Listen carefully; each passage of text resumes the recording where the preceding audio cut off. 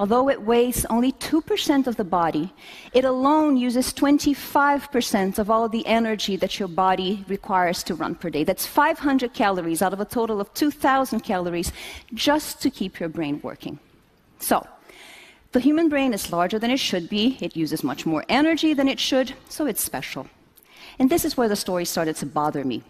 In biology, we look for rules that apply to all animals and to life in general. So, why should the rules of evolution apply to everybody else but not to us? Maybe the problem was with the basic assumption that all brains are made in the same way. Maybe two brains of a similar size can actually be made of very different numbers of neurons. Maybe a very large brain does not necessarily have more neurons than a more modest sized brain maybe the human brain actually has the most neurons of any brain, regardless of its size, especially in the cerebral cortex. So, this to me became the important question to answer. How many neurons does the human brain have, and how does that compare to other animals?